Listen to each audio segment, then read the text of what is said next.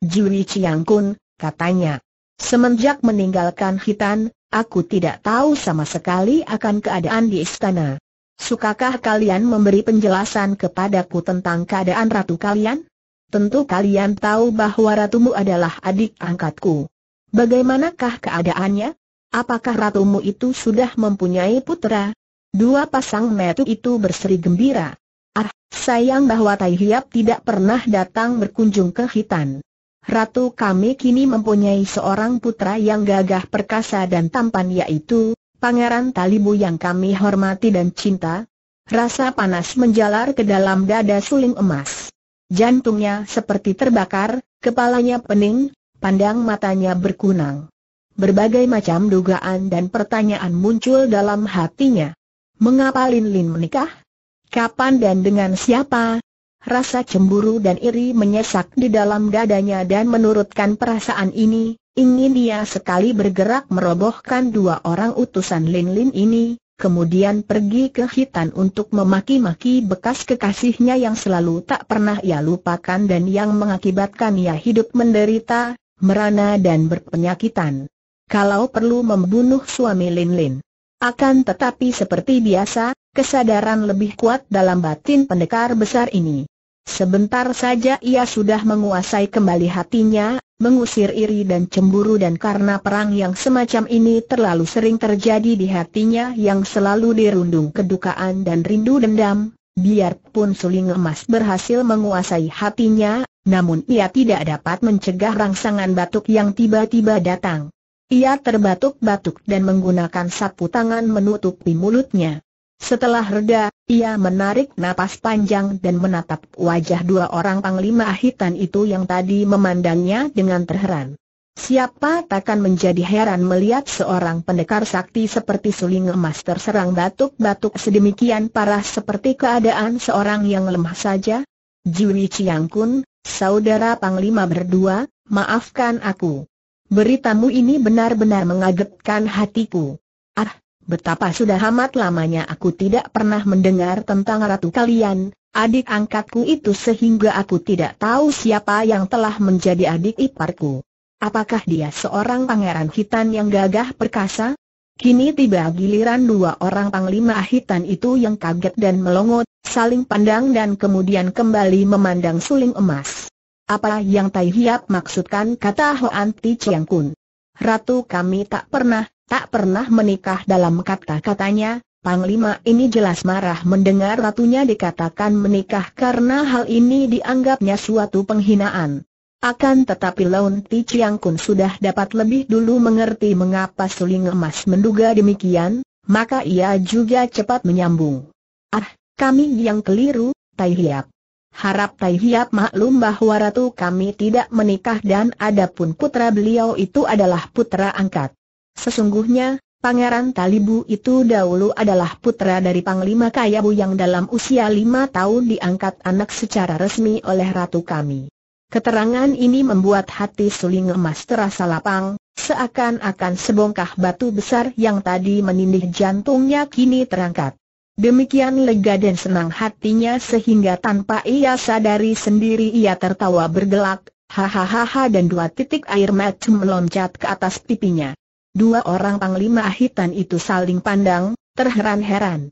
Akan tetapi karena mereka tahu bahwa banyak orang sakti berwatak dan bersikap aneh-aneh, maka mereka tidak berkata sesuatu.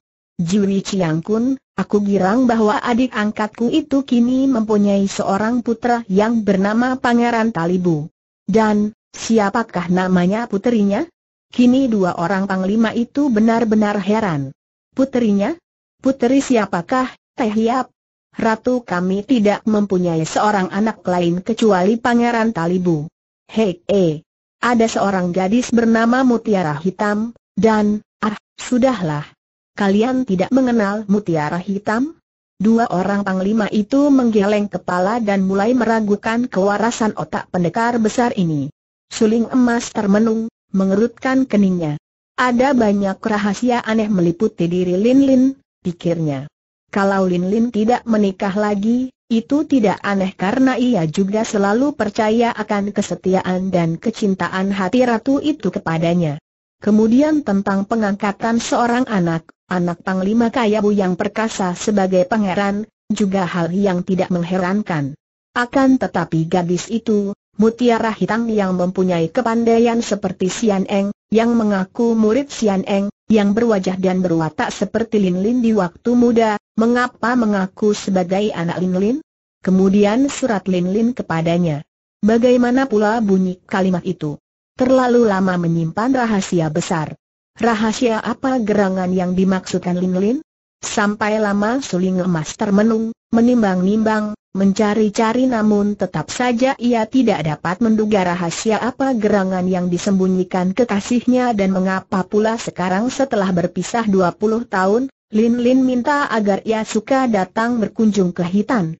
Kalau tidak ada urusan penting sekali, mengapa harus saling jumpa kembali? untuk merobek kembali luka yang sudah hampir kering? Betapapun besar keinginan hatinya untuk bertemu dengan orang yang dicintanya, ia tetap hendak menjaga nama baik kekasihnya itu, menjaga nama baik seorang ratu yang dijunjung tinggi rakyatnya. Jiwi Chiang Kun, masih ingatkah janji-janji Jiwi tadi kepadaku? Dua orang panglima itu mengangguk.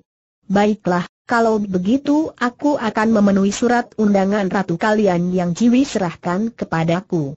Aku akan berkunjung ke Hitan, akan tetapi tidak secara berterang dan selain Jiwi, tidak boleh ada orang lain mengenalku. Maukah Jiwi membantuku? Dua orang panglima itu kelihatan ragu-ragu. Tentu saja kami suka membantu Tai Hiap, jawab Hoan Ti Chiang Kun, akan tetapi, bagaimana caranya? Aku ingin sekali mengunjungi adik angkatku, akan tetapi aku tidak menghendaki sebagai suling emas. Jalan satu-satunya hanya menyamar. Kalian ceritakan kepada ratu kalian tentang penyerangan Tailek Kawang dan bahwa aku telah membantu kalian. Aku akan menyamar sebagai seorang kakek berjuluk San Lojin, kakek pegunungan. Maukah kalian membantuku? Dua orang panglima itu mengangguk-angguk tanda setuju. Dan untuk menghilangkan kecurigaan, harap Lon Ti Chiang Kun mengangkat aku sebagai pembantu, menjadi seorang perwira penjaga benteng. Lon Ti Chiang Kun mengangguk-angguk, sungguh pun di dalam hatinya merasa heran. Memang aneh sikap orang-orang sakti di selatan ini, pikirnya. Hendak mengunjungi adik angkat saja mengapa mesti menyamar seperti ini?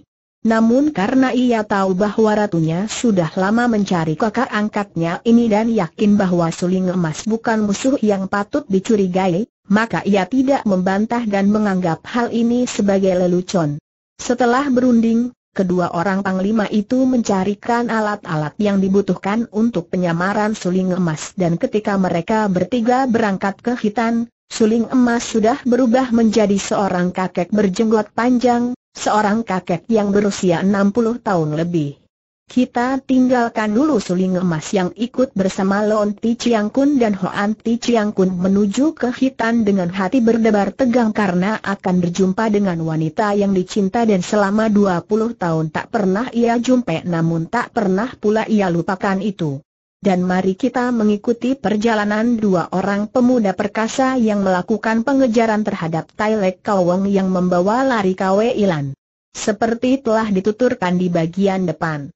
Teng Hau Lam terkejut ketika ia tidak melihat Kwe Ilan dan Tailek Kawang di situ, lalu berseru dan mengajak Tiang Kongcu atau nama lengkapnya Tiang Liong, pemuda perkasa murid suling emas itu untuk melakukan pengejaran.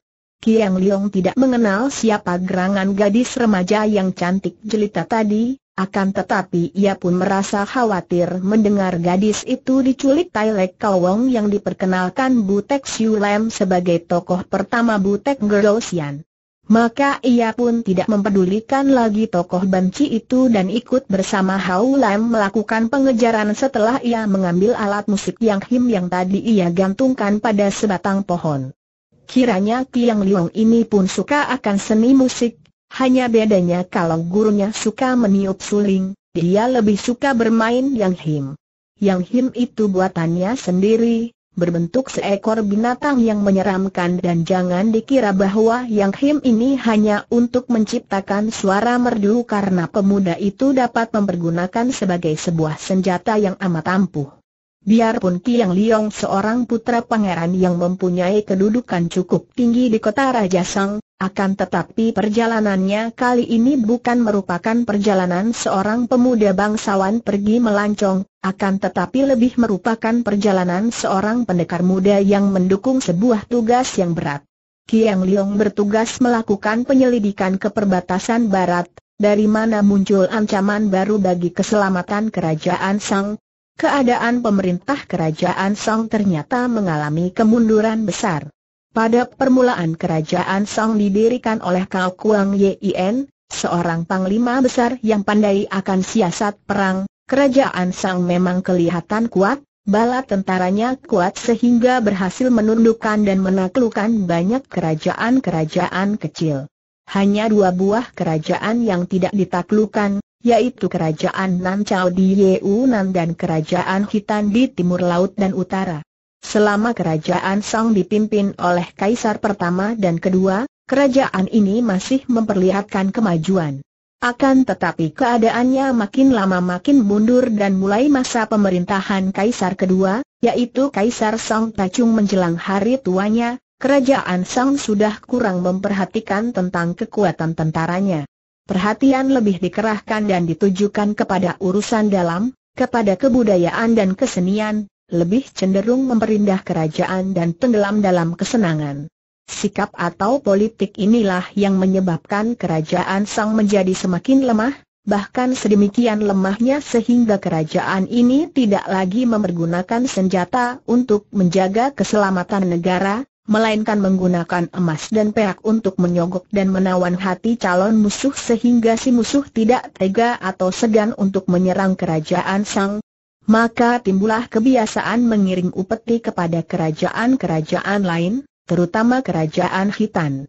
Pada waktu cerita ini terjadi, kerajaan Sang dipimpin oleh kaisar yang ketiga, yaitu Kaisar Chancung, 998 1022. Dia adalah keponakan dari kaisar pertama dan terkenal sebagai seorang yang anti kekerasan, anti perang dan berusaha memengaruhi dan merubah atau membelokkan agama Buddha dan Tao demi keuntungan pribadinya. Ia menyatakan bahwa dia seketurunannya adalah orang-orang pilihan Tuhan yang bertugas sebagai wakil Tuhan menjadi kaisar di bumi. Ia lebih tenggelam kepada perkembangan kebudayaan dan sama sekali tidak becus mengatur pemerintahan, apalagi menyusun kekuatan untuk melindungi negara dari ancaman dan bahaya dari luar. Bahkan dinyatakan oleh Kaisar Chen Chung bahwa kerajaannya tidak membutuhkan kekuatan militer, akan tetapi membutuhkan kekuatan gaib yang timbul dari kemajuan batin, terutama berkat wibawa Seng Kaisar. Kaisar ketiga dari kerajaan Song ini sama sekali buta terhadap ancaman-ancaman yang selalu mengelilingi kerajaannya, tidak melihat betapa banyak kekuatan-kekuatan yang mengilar menginginkan kerajaannya. Karena itu ia pun tidak melihat atau tidak acuh terhadap munculnya bangsa Haesisia di perbatasan barat. Bangsa Haesisia ini adalah bangsa perantauan seperti keadaan bangsa Hitan, yang muncul dari barat. Sebagai bangsa perantau mereka ini ulet dan tahan uji. Mereka melihat akan kelemahan kerajaan Sang, melihat pula akan politik Kaisar Song yang selalu mengalah serta murah hati, oleh karena itu mereka mulai dengan petualangannya ke pedalaman. Di antara para pimpinan bangsa HS Isya ini terdapat banyak orang pandai dan sakti dari barat dan mereka ini sudah mulai memperlihatkan kepandaiannya untuk mencari pengaruh dan kekuasaan di antara penduduk pedalaman di sekitar tapal batas sebelah barat. Hanya karena desakan dan peringatan para panglima dan menteri yang setia kepada kerajaan dan yang masih ingat akan kewaspadaan saja maka akhirnya Kaisar Chen menaruh perhatian dan akhirnya diperintahkan kepada Tiang Liong untuk melakukan penyelidikan. Inilah sebabnya maka Tiang Liong melakukan perjalanan keluar kota raja dan secara kebetulan pemuda ini bertemu dengan Teng Hau Lam dan Kwe Ilan yang hampir celaka dalam tangan Butek Siu Lam. Kini Kiang Liong dan Hao Lam melakukan pengejaran terhadap Tai Lek Kaweng yang membawa lari Kwe Ilan. Akan tetapi sampai jauh mereka mengejar, belum juga mereka dapat menyusul Tai Lek Kaweng. Sudah terlalu lama kakek gundul itu pergi sehingga mereka terlambat dan tidak tahu betul arah mana yang diambil kakek itu. Kiang Liong yang tadi terpaksa menahan kecepatan geraknya untuk mengimbangi kecepatan Hau Lam akhirnya menarik napas panjang dan berkata, Sobat, tiada gunanya mengejar lagi kalau kita belum tahu betul ke mana iblis itu pergi. Lebih baik kita berpencar saja. Aku sedang melakukan perjalanan ke barat, biarlah aku mengejar ke barat dan kau boleh melanjutkan pengejaranmu ke mana kau suka. Kalau aku bertemu dengan iblis itu, jangan khawatir, tentu aku akan turun tangan membantu. Eh, siapa nama Nona tadi? Mutiara Hitam. Mutiara Hitam, tentu dia bukan sembarang orang dan biarpun dia sudah tertawan, kurasa tidak akan mudah bagi kakek iblis itu untuk mencelakainya. Kau betul, Kiang Kong Chu. Dengan berpencar kita akan lebih berhasil. Terima kasih atas bantuanmu dan sampai jumpa kata Hau Lam yang juga tidak mau membuang waktu lagi karena ia amat mengkhawatirkan nasib gadis lincah yang telah menjatuhkan hatinya itu. Agar Kong Chu tidak lupa, namaku adalah Teng Hau Lam, akan tetapi mutiara hitam menyebutku si berandal setelah menjura, Hao Lam lalu melompat dan melanjutkan pengejaran ke utara. Kiang Leong berdiri dan tersenyum, menggeleng-geleng kepalanya dan berkata lirih kepada diri sendiri. Bocah itu mabok asmara, tak salah lagi. Mudah-mudahan tidak akan gagal, dia anak baik, Sambil bicara seorang diri pemuda yang tenang ini lalu melanjutkan perjalanannya ke barat sambil memasang mata penuh perhatian ke sekelilingnya kalau-kalau kakek gundul yang melarikan mutiara hitam itu lewat di situ dan meninggalkan jejak. Sambil melanjutkan perjalanan untuk melakukan penyelidikan, Kiang Liong mengingat-ingat akan segala keterangan yang diperolehnya tentang bangsa Haesisia ini. Menurut keterangan yang ia kumpulkan, bangsa yang menjadi ancaman baru ini dipimpin oleh pendeta-pendeta Tibet yang mendirikan kerajaan Tangut. Pendeta-pendeta berjubah merah dari Tibet ini memang banyak yang memiliki ilmu kepandaian tinggi. Adapun bangsa Haesisia yang mereka pimpin merupakan bangsa berdarah campuran. Setelah melanjutkan perjalanannya selama beberapa hari, Kiang Liong tidak menemukan jejak mutiara hitam dan penculiknya, juga tidak melihat adanya gerakan-gerakan bangsa Haesisia. Akan tetapi ia memperoleh keterangan bahwa beberapa bulan yang lalu barisan besar bangsa Haesisia berbondong-bondong menuju ke selatan. Tak seorang pun di antara penduduk dusun yang ia tanya dapat menjelaskan apa yang hendak dilakukan barisan itu dan ke mana perginya. Hanya yang jelas, tampak bekas amukan mereka pada setiap dusun yang mereka lalui. Tidak ada harta benda dan wanita muda yang mereka lepaskan begitu saja. Tidak ada dusun yang mereka lalui tanpa mengalami korban yang amat banyak, pembunuhan sewenang-wenang, perampokan, perkosaan dan penculikan. Kiang Liong menghela napas panjang menyaksikan ini semua. Selama ia mengikuti jejak barisan bangsa Haesisya, entah sudah berapa puluh kali ia berhenti untuk mengubur jenazah-jenazah wanita muda yang menggeletak begitu saja di pinggir jalan, ditinggalkan oleh bangsa Haesisya. Melihat wanita-wanita muda tewas tanpa pakaian itu, ada di antaranya yang sudah menjadi korban binatang buas sehingga mayatnya tidak utuh lagi, Kiang Liong teringat akan bunyi sajak tentang bunga-bunga yang dicampakkan begitu saja ke dalam lumpur setelah habis diisap madunya dan dinikmati harumnya. Karena banyaknya mayat-mayat itu dan karena terlalu sering berhenti di dusun-dusun yang menjadi korban keganasan bangsa Haesisya untuk menolong mereka yang terluka, perjalanan Kiang Liong amat lambat dan memang bukan kehendaknya untuk mengejar barisan yang menurut taksiran penduduk berjumlah puluhan ribu orang itu. Ia hanya ingin menyelidiki apa yang hendak mereka lakukan dan sampai berapa jauhnya gerakan mereka mengancam kerajaan Sang. Ia dapat mengumpulkan makin banyak keterangan dari para penduduk dusun-dusun yang dilalui. Menurut berita itu, barisan ini dipimpin oleh perwira-perwira yang perkasa dan para perwira ini dikepalai oleh serombongan pendeta berjubah merah. Di tengah-tengah para pendeta berjubah merah ini terdapat sebuah tandu yang tertutup sutra-sutra merah. Di dalamnya tentu ada orang karena menurut para penduduk, ada suara orang yang halus dan rendah keluar dari tandu, dalam bahasa asing, dan ada kalanya gadis tercantik yang terampas dimasukkan ke dalam tandu secara paksa. Namun tidak ada seorang pun pernah melihat siapa gerangan orangnya yang berada di dalam tandu dan seperti apa macamnya. Yang jelas bagi Kiang Liong kini adalah bahwa semua pendeta jubah merah menyembah-nyembah penghuni tandu seperti menyembah dewa, sedangkan para perwira tunduk dan taat kepada perintah para pendeta, sebaliknya para anggota barisan juga taat kepada pimpinan para perwira. Pendeknya, barisan ini merupakan barisan yang amat kuat. Makin jauh ke selatan ia mengikuti jejak barisan itu, makin heran dan akhirnya khawatir hati Kiang Liong. Kini ia telah memasuki wilayah kerajaan Nancau. Mau apa barisan orang-orang Haesisia ke Nancau? Kerajaan Nancau adalah kerajaan kedua yang bersahabat dengan kerajaan Sang, setelah kerajaan Hitan.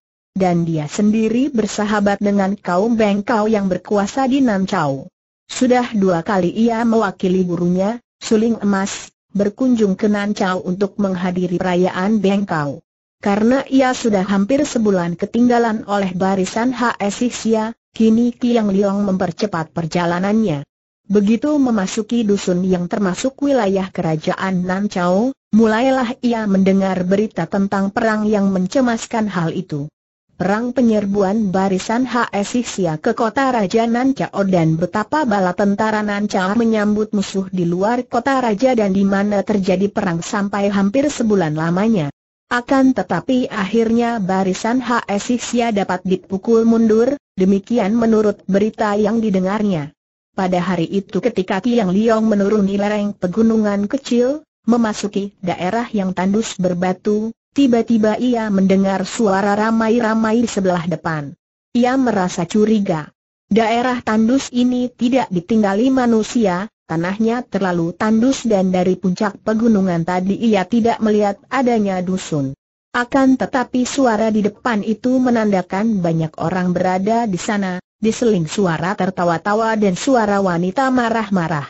Ia mempercepat jalannya dan setelah membelok di sebuah tikungan yang tertutup batu besar, ia melihat sedikitnya ada 20 orang laki-laki yang buas dan asing mengurung dua orang wanita muda yang cantik jelita dan bersikap gagah. Begitu melihat dua orang gadis itu, Kiang Liong menjadi kaget dan menurutkan kata hatinya, ingin ia sekali bergerak melemparkan 20 orang laki-laki kasar itu. Akan tetapi ia bukan seorang yang sembrono dan ia cukup tahu bahwa dua orang gadis itu bukanlah gadis-gadis lemah, maka ia menyelinap dan mengintai untuk melihat dan mendengar sebelum menentukan apakah ia perlu turun tangan menolong. Dua orang gadis itu cantik sekali, kecantikan daerah selatan yang panas. Seorang di antara mereka, yang wajahnya lembut dan agak lebih tua, berusia kurang lebih 20 tahun, Pakaiannya berwarna kuning dan rambutnya yang hitam digelung ke atas. Gadis kedua paling banyak 18 tahun, pakaiannya serba merah, gagang pedang tersembul di belakang punggungnya, membuat ia tampak gagah sekali. Wajahnya lebih manis dan galak. Dan gadis yang lebih muda inilah yang kini membentak dan memaki. Anjing-anjing Haesisia, kalian sudah terusir keluar dari negeri kami, tapi masih berani berkeliaran di sini. Hem, sungguh kebetulan sekali, sebelum membasmi seribu ekor anjing Haesisya, takkan puas hatiku. Betul, adikku. Kita harus bunuh anjing-anjing ini agar tidak penasaran arwah orang tua kita, kata gadis yang berpakaian kuning. Mereka berdua menggerakkan tangan dan sudah mencabut pedang masing-masing. Wahahaha, bidadari-bidadari cantik manis, kenapa galak amat? Mari bersenang dengan kami, jago-jago dari Haesisya seorang di antara 20 laki-laki kasar itu, yang berambut merah, berkata sambil menyeringai lebar. Teman-temannya tertawa bergelak dan mereka mengurung dua orang gadis itu dengan sikap menjemukan, seperti segerombolan harimau mengurung dua ekor kelinci yang hendak dipermainkan lebih dulu sebelum dijadikan mangsa. Tiba-tiba tampak dua gulungan sinar putih yang menyilaukan mata. terdengar jerit-jerit kesakitan disusul robohnya dua orang Haesisya, seorang di antaranya adalah si rambut merah. Ternyata dua orang gadis itu sudah mulai turun tangan. Gerakan pedang mereka amat cepat sehingga dalam sekejap mata saja dua orang laki-laki kasar yang nampak kuat itu sudah roboh binasa. Hal ini sama sekali tidak tersangka-sangka oleh gerombolan orang Haesisya itu sehingga mereka menjadi kaget sekali. Kalau tadinya mereka bergembira hendak mengganggu dan berkurang ajar, kini mereka menjadi marah tampak kilatan senjata ketika mereka semua mencabut gelolok melengkung lebar dari pinggang. Kiang Liong yang menonton dari tempat pengintaiannya tidak bergerak. Ia maklum bahwa menghadapi pengeroyokan orang-orang kasar itu, dua orang gadis ini tentu tidak akan kalah dan tidak membutuhkan bantuannya. Ia tersenyum dan memandang kagum. Lima enam tahun yang lalu ketika ia berkunjung ke Nancau, Dua orang gadis itu masih amat muda, masih remaja. Kini mereka telah menjadi dewasa yang selain cantik manis, juga memiliki ilmu silat yang cukup mengagumkan, tidak mengecewakan kalau mereka menjadi cucu ketua bengkau. Ia masih ingat betapa enam tahun yang lalu, dua orang gadis yang dulu masih cilik, tanpa malu-malu menemuinya dan mendengar pujian ayah mereka tentang diri Kiang Liong, mereka tanpa sungkan-sungkan minta petunjuk-petunjuk ilmu silat. Dua orang gadis itu adalah putri-putri dari adik diri gurunya yang bernama Kambusin, mantu ketua bengkau. Yang tua bernama Kam Siang Kui sedangkan adiknya, dua tahun lebih muda, bernama Kam Siang Hui. Kiang Liong masih ingat betul betapa sejak enam tahun yang lalu, Siang Hui lebih berani dan lebih galak. Kini ia dapat mengenal dua orang gadis itu. Tentu nona baju merah itulah Kam Siang Hui, sedangkan yang berpakaian kuning dan bersikap lebih tenang adalah Kam Siang Kui. Akan tetapi, ketika tadi ia mendengar ucapan dua orang gadis itu, hati Kiang Liong berdebar gelisah. Ia cerdik dan sekali mendengar kata-kata kedua orang kakak beradik itu, ia sudah dapat menduganya. Tentu dua orang gadis itu kehilangan orang tua mereka dalam perang melawan bangsa Haesisia yang menyerbu Nancau. Dan ia menjadi heran dan juga gelisah. Paman gurunya, Kambusin, memiliki kepandaian tinggi, juga ibu kedua orang gadis itu, yang bernama Liu Wei, adalah putri tunggal ketua bengkau dan memiliki ilmu kepandaian yang lebih tinggi lagi. Kalau mereka berdua sampai gugur di medan perang, berarti bahwa pihak musuh memiliki orang-orang yang sakti. Betapapun cemas dan gelisah hati Kiang Liong namun ia tidak mau keluar untuk membantu Siang Kui dan Siang Hui. Sebagai seorang pendekar ia tentu saja mengerti bahwa membantu orang-orang gagah yang sama sekali tidak perlu dibantu mendatangkan kesan yang tidak baik dan dapat menyinggung perasaan. Maka ia hanya menonton, walaupun siap untuk turun tangan kalau-kalau dua orang gadis itu terancam bahaya. Dua orang gadis itu mengamuk seperti dua ekor naga. Gulungan sinar pedang mereka yang berwarna putih berkilauan seperti perak menyambar-nyambar dan para pengeroyok yang hanya terdiri dari orang-orang kasar yang mengandalkan tenaga itu mulai roboh seorang demi seorang. Dalam waktu singkat saja belasan orang roboh mandi darah dan sisanya mulai gentar, bahkan ada yang sudah membalikan tubuh hendak melarikan diri. Cici, jangan biarkan anjing-anjing itu lari seru Siang Hui sambil memutar pedang mendesak maju, merintangi mereka yang hendak lari. Siang Kui mengejar ke depan, kedua tangannya bergerak dan robohlah tiga orang lawan yang sudah lari itu, punggung mereka tertusuk senjata rahasia yang berbentuk anak panah.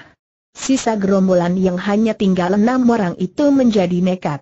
Sambil berteriak-teriak liar mereka menyerbu mati-matian, namun kenekatan mereka tiada gunanya karena dengan mudah saja Siang Kui dan Siang Hui merobohkan mereka. 21 orang menggeletak malang melintang di depan dua orang gadis itu yang seakan-akan telah menjadi gila saking marah dan sakit hatinya sehingga kini mereka membacok dan menusuki korban yang masih dapat bergerak-gerak dan berkelojotan sampai semua lawan mereka rebah tak bernyawa lagi. Biarpun Kiang Liong maklum bahwa semua itu terdorong oleh rasa duka kehilangan ayah bunda, namun tetap saja ia menganggapnya terlalu kejam dan tidak baik. Maka kini ia melompat keluar dan berseru, adik-adik. Cukuplah. Xiang Kui dan Xiang Hui yang mukanya masih kemerahan dan beringas membalikan tubuh dengan sigapnya, siap menghadapi lawan baru. Mula-mula mereka pangling melihat seorang pemuda berpakaian putih yang berdiri di depan mereka dengan sikap tenang dan pandang mata penuh teguran itu sehingga mereka makin mempererat genggaman tangan pada gagang pedang. Akan tetapi ketika mereka melihat alat musik yang him tergantung di belakang punggung dan tampak tersembul di belakang pundak pemuda itu, mereka segera mengenal orangnya. Liong Tuako, kakak Liong mereka berseru bergantian sambil berlari maju menghampiri Kiang Liong. Wajah mereka yang tadinya merah beringas itu berubah lembut, bahkan agak berseri ketika dua pasang metu itu memandang Kiang Liong dan mereka cepat-cepat menyimpan kembali pedang yang tadi dipakai mengamuk. Jiwi Xiao Moi, kedua adik, mengapa berada di sini dan membunuhi orang-orang ini? Jiwi hendak pergi ke manakah? Ditanya begini, Tiba-tiba Xiang Hui menubruk Kiang Liong sambil menangis. Ketika Kiang Liong berkunjung ke rumah gadis itu enam tahun yang lalu, Xiang Hui baru berusia 12 tahun maka kini bertemu pemuda ini ia seperti lupa bahwa ia kini sudah berusia 18 tahun. Ia sesenggukan di dada Kiang Liong yang menepuk-nepuk pundaknya.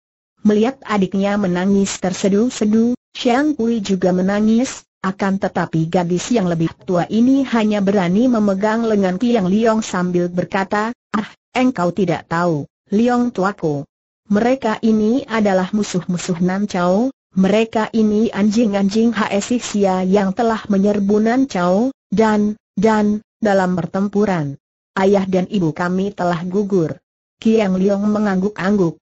Untung tadi ia sudah mendengar dan dapat menduga, kalau tidak, tentu ia akan terkejut sekali. Karena ia sudah tahu, maka kini ia dapat mengeluarkan kata-kata hiburan untuk membangkitkan semangat.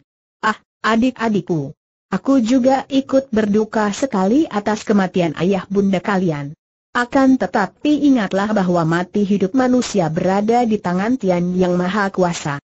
Dan kalau diingat, kematian ayah bunda kalian dalam tugas membela negara adalah kematian pahlawan yang amat terhormat dan sungguh pun kehilangan ini amat mendukakan hati, namun kematian beliau berdua itu patut dibuat bangga. Aku sudah mendengar bahwa bangsa Haesisia yang menyerbu ke Nancao dapat dipukul mundur. Pengorbanan orang tua kalian bukan sia-sia kalau begitu. Ucapan pemuda itu tentu akan menjadi hiburan yang manjur dan dapat membangkitkan semangat, apalagi kalau diingat bahwa dua orang gadis ini bukan keturunan sembarangan, melainkan keturunan suami istri yang gagah perkasa dan masih cucu ketua bengkau yang sakti. Akan tetapi sungguh di luar dugaan Kiang Liong.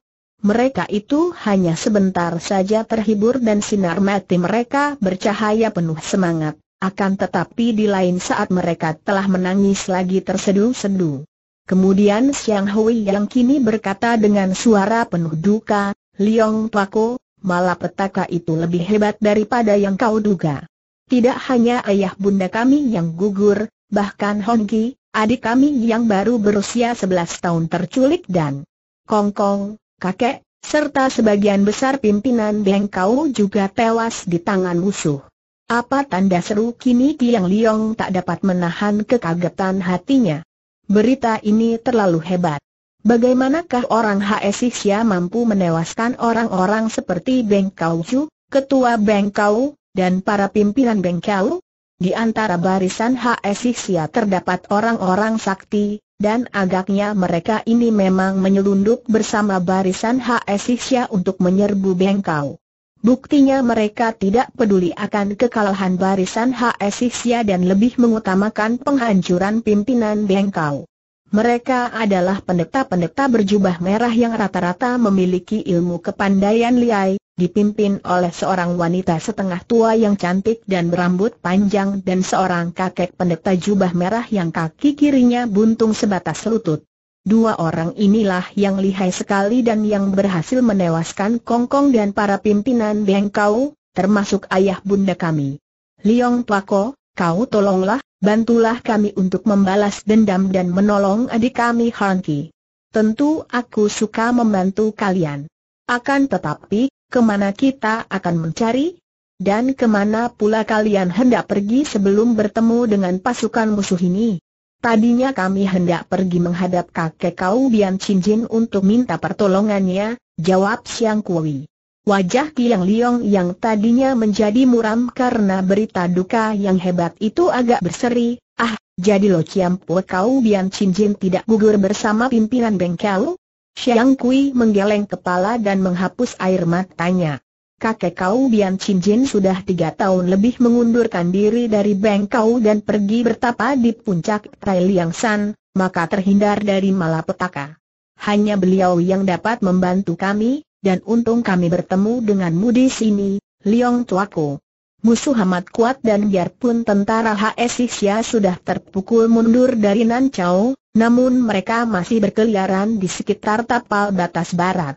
Buktinya di sini kami bertemu dengan anjing-anjing ini yang agaknya memang menghadang perjalanan kami. Menurut para penyelidik, kakek dan nenek sakti bersama para pendeta berjubah merah bersembunyi di pegunungan Kaolikungsan di lembah sungai Nukiang. Tiba-tiba Kiang Liong menggerakkan kedua tangannya mendorong pundak kedua orang gadis itu sehingga mereka itu terlempar dua meter lebih, terhuyung-huyung. Eh, ada apa? Tuako Siang Hui menegur, juga Siang Kui terkejut sekali. Akan tetapi Kiang Liong sudah meloncat sambil membalikan tubuhnya. Kedua tangannya menangkis dan runtuhlah beberapa buah peluru hitam yang menyambar ke arah tubuhnya. Kini barulah dua orang gadis itu tahu bahwa tadi pun ada beberapa buah peluru hitam menyambar ke arah mereka dan kalau tidak ada Kiang Liong yang mendorong mereka, tentu mereka menjadi korban. Mereka memandang dengan mata terbelalak, merasa ngeri betapa ada orang dapat membokong mereka tanpa mereka ketahui. Hal ini saja sudah menjadi bukti bahwa orang yang melepas senjata rahasia itu tentulah orang yang amat lihai. Huahahahehe. Orang muda, kau tangkas juga terdengar suara terkekeh-kekeh dan muncullah seorang kakek bertubuh kecil dari balik sebatang pohon besar yang tiada berdaun lagi. Kakek ini amat kurus dan tua, hanya rangka terbungkus kulit keriput. Bajunya tak berlengan, kedua pergelangan lengannya terlindung selubung hitam, entah dari bahan apa. Kuku tangannya panjang-panjang seperti kuku setan, melengkung dan runcing. Kumisnya kecil menjuntai lesu. Kakinya telanjang pula. Pinggangnya memakai sabuk yang ada dompet-dompetnya kecil berjajar punggungnya menggendong bambu besar dan bambu kecil, dan sepasang metel orang aneh ini kelihatan menghitam menakutkan. Mulutnya bergerak-gerak tertawa terpingkal-pingkal dan terbahak-bahak, akan tetapi mukanya, terutama matanya, sama sekali tidak membayangkan tawa, bahkan amat serius dan sungguh-sungguh. Kiang Liong bersikap tenang. Ia maklum bahwa orang di depannya ini adalah seorang berilmu tinggi dan agaknya termasuk golongan hitam. Maka ia menjura dan bertanya, agaknya saya berhadapan dengan seorang ciampul. Selamanya belum pernah saya, Kiang Liong, dan kedua orang adik saya ini bertemu dengan Ciampul, mengapakah begitu bertemu Lo eh lalu menyerang kami dan siapakah julukan Lo Ciampul? Hahaha, hehehe. Girang sekali hatiku mendengar orang-orang bengkau terutama sekali si berdebah Liu Mo si Matu keranjang yang banyak bininya itu mampus. Hahaha. Dan untungku bertemu dengan dua orang cucunya. Heh, orang muda, apakah kau orang bengkel? Kalau bukan, lekas pergi jangan mencampuri urusan Xiao Bin Lomo. Serahkan dua orang bocah ini kepadaku agar puas hatiku dan lunas perhitunganku dengan bengkau. Kiang Liong mengerutkan keningnya dan diam-diam menjadi marah sekali. Kiranya inilah yang berjuluk Xiao Bin Lomo, seorang di antara butek Gerosian. Hem, Lo Chiampo yang berjuluk Xiao Bin Lomo dan menjadi seorang di antara butek Gerosian. Pantas saja tidak segan bersikap keji, tidak jauh bedanya dengan butek Siulam yang pernah saya jumpai. Saya tidak mempunyai kehormatan untuk menjadi anggota bengkau yang terkenal, akan tetapi para pimpinan bengkau adalah orang-orang tua yang saya hormati, sedangkan yang muda-muda adalah saudara-saudara saya. Lo Ciampua baru dapat mengganggu kedua orang adik saya ini setelah melalui mayat saya. Hahaha, hehe, orang muda yang bernyali besar. Kau sudah bosan hidup sambil terkekeh-kekeh ketawa mengejek Xiao Bin Lomo menerjang maju. Gerakan Xiao Bin Lomo amatlah cepatnya dan senjata-senjatanya hanyalah jari-jari kuku tangannya. Akan tetapi, kuku jari tangan ada sepuluh buah banyaknya dan setiap kuku runcing tajam mengandung racun sehingga sama dengan memegang sepuluh buah senjata yang amat berbahaya. Tubrukannya liar ganas, gerakannya cepat laksana burung menyambar. Ia menerjang sambil tertawa, mengira bahwa sekali tubruk ia akan mampu merobohkan lawannya yang masih muda. Akan tetapi perkiraannya jauh meleset dan ia terheran-heran ketika ternyata menubruk tempat kosong dan pemuda yang tampan dan tenang itu tahu-tahu telah lenyap. Ia hanya mendengar angin berseliwer di samping kanannya, maka cepat Xiao Bin Lomo membalikan tubuhnya. Benar saja, pemuda itu sudah berdiri di belakangnya dan kini kedua tangan pemuda itu sudah memegang dua buah senjata yang lucu dan aneh. Tangan kanannya memegang sebatang pensil bulu sedangkan tangan kirinya memegang pensil kayu. Sebetulnya kalau menurutkan wataknya sebagai seorang pendekar yang enggan bersikap curang, melihat lawan bertangan kosong, Kiang Liong hendak melayani dengan tangan kosong pula. Akan tetapi serangan pertama tadi membuat ia terkejut karena kuku-kuku jari tangan lawan mengeluarkan sinar hitam dan ia mencium bau amis, maka taulah ia bahwa lawannya ini seorang tokoh jahat yang mempunyai keahlian tentang racun, maka ia tidak segan-segan lagi untuk mencabut keluar sepasang pensilnya. Juga gerakan kakek ini amat cepat, menandakan bahwa lawan ini benar-benar seorang lawan yang amat tangguh, tidak di sebelah bawah tingkat butek Siulam yang lihai itu. Di lain pihak, Xiao Bin Lomo juga terkejut bukan main ketika melihat betapa gerakan pemuda itu sedemikian cepatnya dan kemudian melihat sepasang senjata di tangan si pemuda. Senjata itu saja sudah merupakan bukti bahwa pemuda ini benar-benar bukan lawan sembarangan karena hanya orang yang tinggi tingkat kepandaiannya saja dapat mempergunakan senjata sekecil dan seringan itu. Makin kecil ringan serta lemah senjatanya, makin tinggilah kepandaian orang. Xiao Bin Lomo adalah seorang tokoh yang belum pernah bertemu tanding, kecuali ketika ia terpaksa mengakui keunggulan Kau Bian Cincin beberapa tahun yang lalu. Karena kekalahannya dari tokoh Bengkau inilah maka ia mendendam sakit hati kepada Bengkau. Karena merasa dirinya memiliki kepandaian tinggi jarang ada tandingnya, maka tentu saja kini ia tidak gentar menghadapi lawan yang masih muda, sungguh pun ia maklum bahwa lawan ini tak boleh dipandang ringan. Hohohaha, sayang kalau seorang muda seperti engkau mampus di tanganku. Kau lihat kelihayanku. Hahaha kini ia menerjang maju dengan gerakan teratur, tidak asal tubruk lagi seperti tadi. Ternyata ilmu silat tangan kosongnya dahsyat, mengeluarkan angin pukulan yang bersuitan dan gerakan kedua tangannya cepat sekali. Kuku panjang itu terpentang dan menyambar-nyambar dari segala jurusan secara tidak terduga-duga. Agaknya kakek ini sudah tidak sabar lagi untuk cepat-cepat menjatuhkan lawan mudanya, maka ia sudah mengerahkan tenaga dan mengeluarkan ilmunya yang dahsyat dengan keyakinan bahwa seorang muda seperti Kiang Liong tak mungkin dapat mengatasi serangannya ini. Akan tetapi kenyataannya jauh berbeda dengan keyakinan hatinya. Pemuda itu dengan gerakan sigap dan amat indah dapat mengelak dan menghindarkan diri dari rangsukan serangannya, bahkan balas menyerang karena sepasang pensil itu menyambut serangan-serangannya dengan totokan-totokan pada jalan darah di pergelangan, telapak tangan, dan dekat siku. Dengan care ini, dari keadaan terserang Tiang Liong berbalik menyerang karena sebelum setiap pukulan dan cakaran lawan mendekati tubuhnya, ia telah mendahului dengan totokan yang amat kuat dan tepat sasarannya. keyakinan Xiao Bin Lomo untuk mendesak pemuda itu menjadi berbalik kenyataannya sehingga dia sendiri yang terdesak dan kalau saja ia tidak lihai mainkan gelang baja pelindung pergelangan tangan, tentu ia siang-siang sudah menjadi korban totokan. Hehe, kau berani mati bentaknya sambil bergelak dan tubuhnya tiba-tiba merubah gerakan. Kini kuku-kukunya yang runcing itu tidak langsung menyerang tubuh lawan, melainkan berusaha mencengkeram pensil lalu disusul cengkeraman ke arah lengan atau bagian tubuh terdekat apabila Tiang Liong menarik senjatanya karena khawatir terkena cengkeraman yang kuat itu. Dengan siasat gerakan macam ini, keadaan kembali menjadi terbalik dan kini pemuda itulah yang tampaknya terdesak. Kuku-kuku yang panjang runcing berbisa, ditambah baja pelindung pergelangan tangan kakek itu benar-benar amat menyulitkan sasaran totokan kedua pensilnya.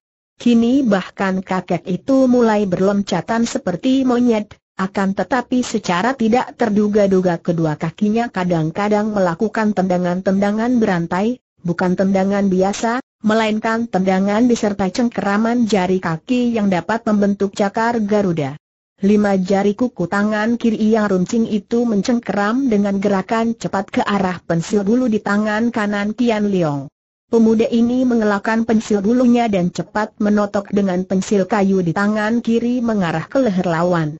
Akan tetapi terdengar suara keras ketika pensil kayu itu tertangkis oleh pelindung pergelangan kanan kakek itu yang melanjutkan gerakan tangan kanan dengan cengkeraman ke arah lengan kiri Kian Leong. Pemuda ini tidak membiarkan dirinya dicengkeram. Cepat ia menggeser kaki ke kanan sehingga tubuhnya miring dan cengkeraman itu luput. Pada detik itu secara tak tersangka-sangka kaki kiri lawannya bergerak menendang ke arah perut. Tendangan yang keras dan cepat sekali datangnya. Kiang Liong kaget dan menggerakkan pensil bulu ke arah kaki itu, menotok ke arah mata kaki, kemudian pensil kayunya secepat kilat menotok ke leher kanan lawan. Breket. Tak. Xiao Bin Lomo berseru kaget dan terhuyung. Kiang Liong juga berseru kaget dan cepat memutar kedua senjatanya di depan tubuh untuk membentuk gaya bertahan.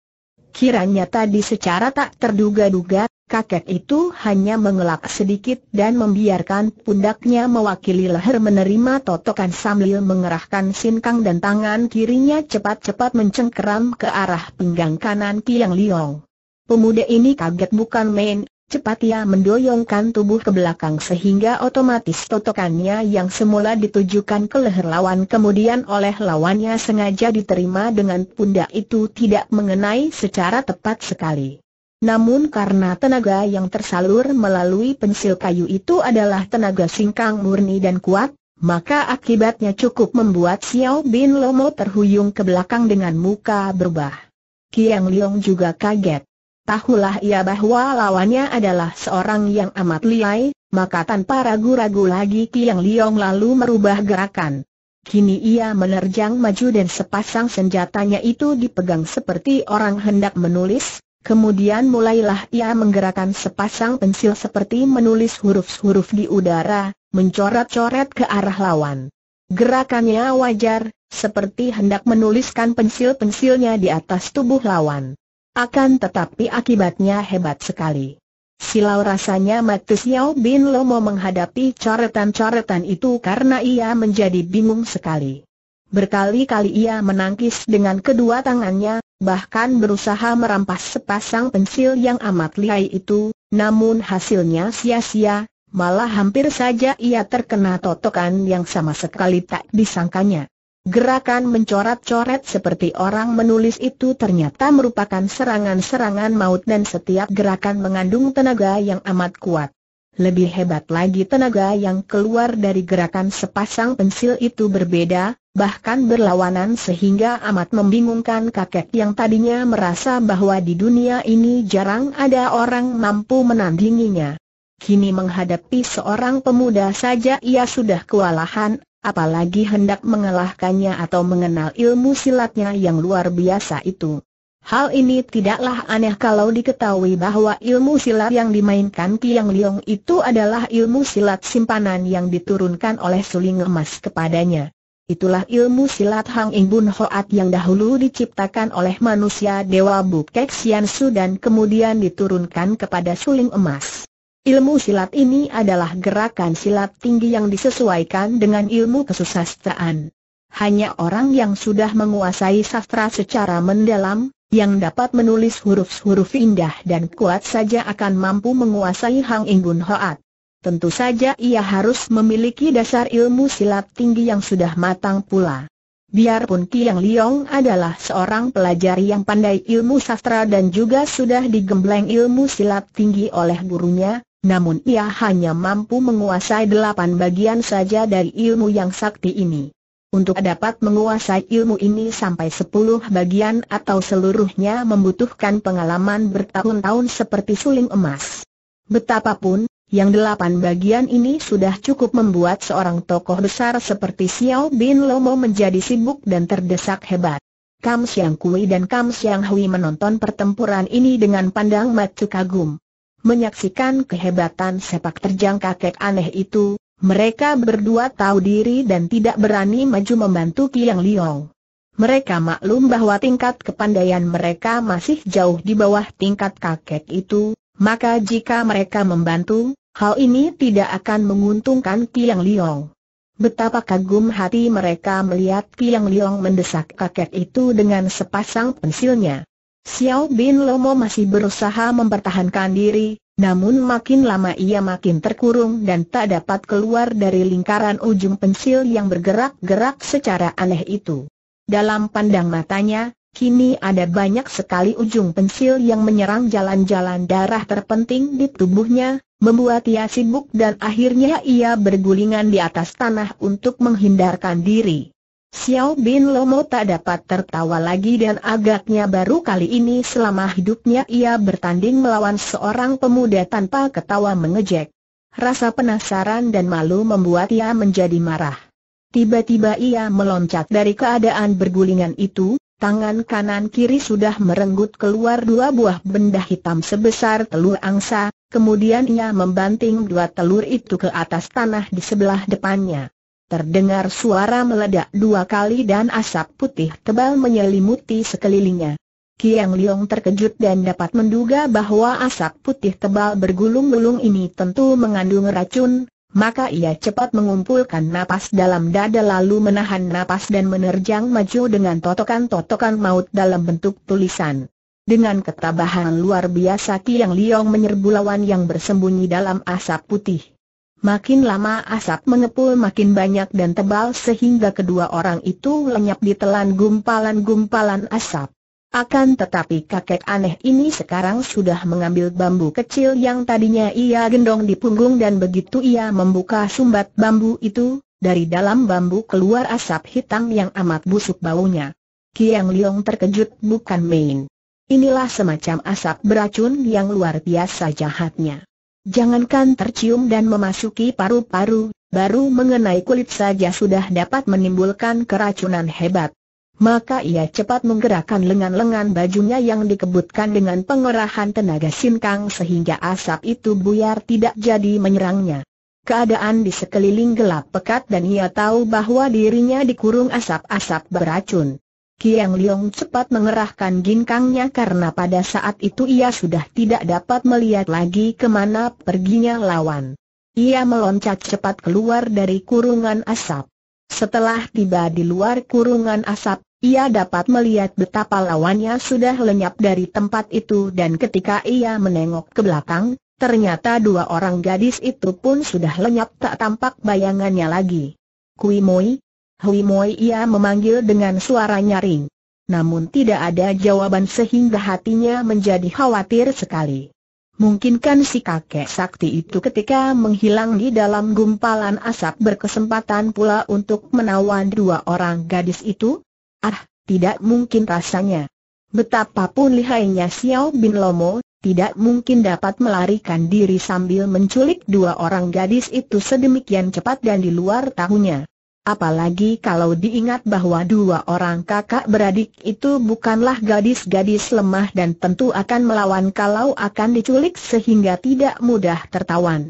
Kiang Liong menyelidiki keadaan sekeliling tempat itu, bahkan memeriksa tanah dan rumput di mana Siang Kui dan Siang Hui tadi berdiri.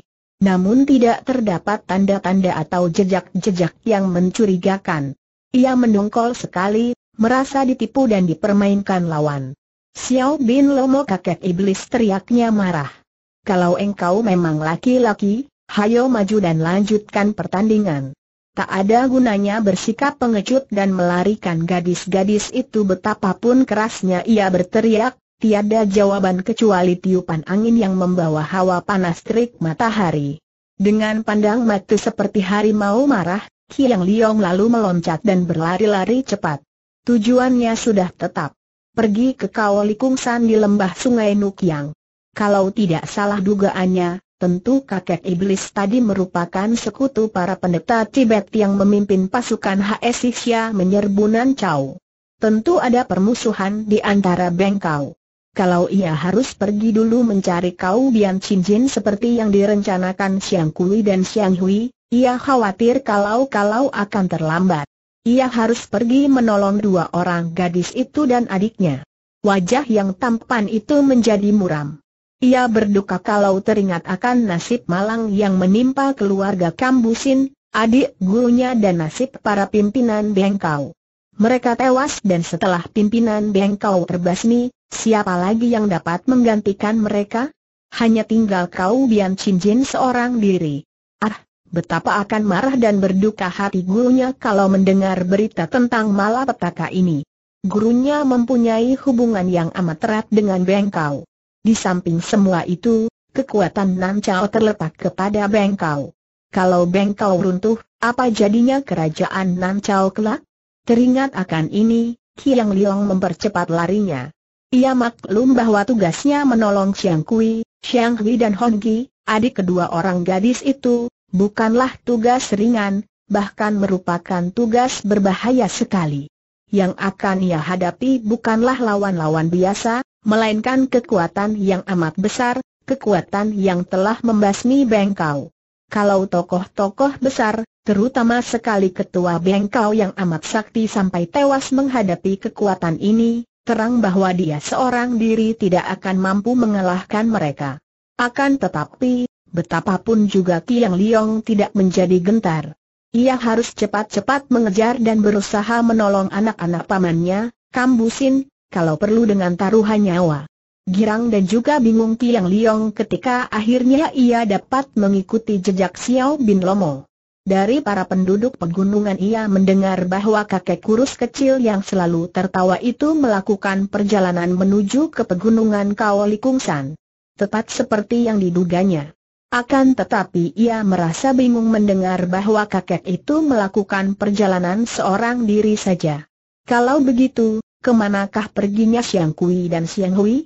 Siapakah yang menculik mereka? Kalau yang menculik itu teman-teman Xiao Bin Lomo, kenapa kakek ini melakukan perjalanan seorang diri saja? Karena penasaran ia mengejar terus sampai ke kaki pegunungan Kaoli Kungsan. Sampai di kaki gunung ini ia menjadi bingung karena kehilangan jejak kakek yang dikejarnya. Daerah itu amat sunyi tidak ada penduduk, dan ia tidak dapat menduga ke arah mana kakek itu pergi, juga tidak tahu di mana adanya markas para pendeta Tibet yang telah membasmi bengkau. Menurut penuturan kedua orang gadis itu, katanya para pendeta Tibet bermarkas di pegunungan Kaolikungsan di lembah sungai Nukiang. Mulailah ia pergi mencari sungai yang dimaksudkan. Dua hari lamanya ia berputaran, akhirnya ia dapat melihat sungai itu. Dari sebuah lereng yang tinggi dan terjal, ia melihat sungai itu jauh di bawah, tampak kecil berliku-liku dan airnya berwarna biru dengan buih putih menabrak batu-batu. Tiba-tiba terdengar suitan nyaring dan Kiang Liong cepat melempar diri ke bawah. Beberapa batang anak panah menyambar dan lewat di atas tubuhnya. Ketika ia meloncat bangun, tempat itu sudah terkepung oleh tujuh orang laki-laki tinggi besar dipimpin oleh seorang Hwasyo berkepala gundul dan berjubah merah.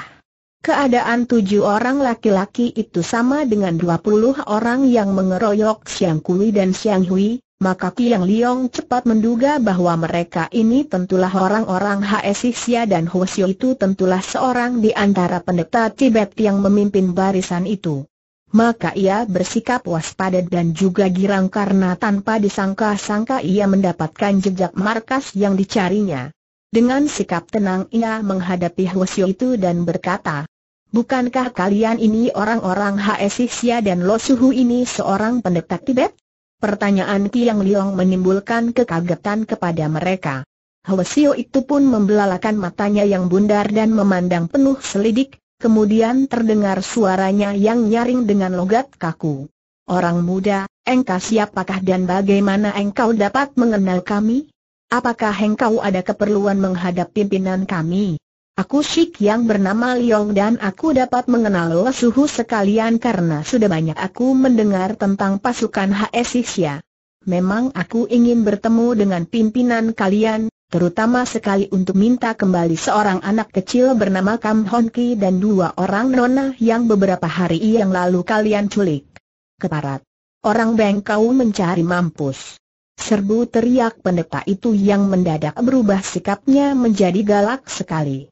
Tujuh orang laki-laki tinggi besar itu sering tak mentaati komando ini dan bagaikan harimau-harimau kelaparan mereka menubruk Kiang Liong dengan serangan-serangan ganas. Kini mengertilah Kiang Liong mengapa Siang Kui dan Siang Hui mengamuk dan membunuh semua orang Haesisia yang mengeroyok mereka. Kiranya selain dua orang gadis itu mendendam karena kematian keluarga mereka dan terculiknya adik mereka, juga orang-orang Haesisia ini amat kejam dan ganas, seperti iblis-iblis yang haus darah. Bahkan gerakan tujuh orang ini berbeda dengan para pengeroyok Siang Kui dan Siang Hui. Gerakan tujuh orang Haesisia ini biarpun sama ganas dan kasar, namun lebih dahsyat dan jelas bahwa mereka ini memiliki kepandaian ilmu silat yang lumayan dan keberanian yang nekat. Kiang Liong tidak menyia-nyiakan waktu. Tubuhnya bergerak ke kiri dan begitu kaki tangannya menyambar, empat orang pengeroyok sudah roboh, tak mampu bangkit kembali. Tiga orang Haesisia yang lain kaget setengah mati, mati mereka sampai terbelalak kaget, akan tetapi hal ini sama sekali tidak disusul oleh rasa takut karena buktinya mereka berteriak parau dan menyerbu makin dahsyat lagi dengan golok mereka. Pendeta berkepala gundul itu juga terkejut dan kini menghunus pedangnya lalu ikut menyerbu, gerakannya amat kuat dan pedangnya mendatangkan angin. Kiang Liong kembali meloncat ke kanan, sengaja agak jauh untuk memancing para pengeroyoknya. Tiga orang Haesisya menyerbu, agaknya tidak peduli akan sesuatu. Mereka ini benar-benar merupakan prajurit-prajurit yang tak kenal takut sehingga orang-orang seperti ini kalau dipakai berperang tentu amat kuat. Kiang Liang sudah siap. Begitu tiga orang ini maju diikuti oleh Hwasyo jubah merah yang lebih berhati-hati sikapnya, ia menerjang maju, jari tangannya menyambar dan hampir berbareng tiga orang Haesisia ini pun roboh. Hwasio itu cepat memutar pedang ketika melihat kaki Kiang Liong menyambar ke arahnya. Akan tetapi ternyata pemuda Liai ini hanya menggertak dengan tendangannya. Begitu pedang membabat ke arah kakinya, ia menahan kaki itu dan tangan kirinya menotok ke arah pundak dengan totokan maut. Hwasio itu terkejut, berseru keras dan berusaha menyelamatkan diri dengan melempar tubuh ke kanan, Begitu keras gerakannya sehingga ia tidak melihat bahwa di sebelah kanannya adalah tebing yang curam. Tanpa dapat dicegah lagi tubuhnya terjerumus ke bawah. Hwasio itu mengeluarkan suara bersuit nyaring sekali dan diam-diam Kiang Liong menjadi kagum. Sudah jelas bahwa nyawa Hwasio itu berada dalam cengkeraman maut, akan tetapi dalam usaha terakhir, Hwasyo itu bukan berteriak minta tolong melainkan mengeluarkan suara suitan nyaring memberi peringatan teman-temannya. Sampai dekat ajal pun Hwasyo ini masih melakukan tugasnya. Benar saja dugaannya, karena dari atas lereng kini muncul puluhan orang yang berlari-lari ke bawah dipimpin oleh beberapa orang Hwasyo berjubah merah. Dari jauh mereka itu sudah menghujankan anak panah sehingga terpaksa ia mencabut pensil dan memukul setiap anak panah yang mengancam dirinya. Ia sudah bersiap untuk melayani mereka semua, Sungguh pun ia merasa sangsi apakah ia sendirian saja akan sanggup menghadapi pengeroyokan demikian banyak orang. Pada saat itu dari sebelah kanan menyambar sinar merah. Kiang Liong kaget, tak menyangka bahwa dari tempat dekat ada orang membokongnya. Untuk membuat gentar hati lawan, Kiang Liong mengeluarkan kepandaiannya. Tangan kirinya berputar dan dengan dua buah jari tangannya, ia menjepit senjata rahasia itu yang ternyata adalah sebatang piau beronce merah dan ketika ia memandang terdapat sepotong kertas dibelitkan pada piau ini. Ia makin heran, cepat ia membuka kertas itu dan membaca tulisan tangan halus indah. Lekas mundur, dari bawah pohon siang turun ke bawah sampai di sungai. Cepat sebelum terlambat.